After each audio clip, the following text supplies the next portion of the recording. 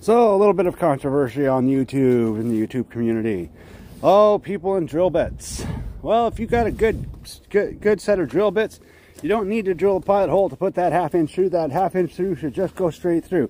Oh no, if you're drilling a pilot hole, you're drilling too fast. You're not using enough oil.